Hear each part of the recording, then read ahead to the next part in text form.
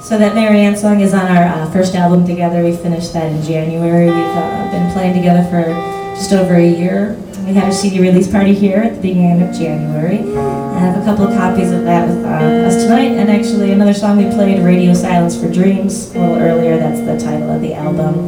And this next one is on there as well.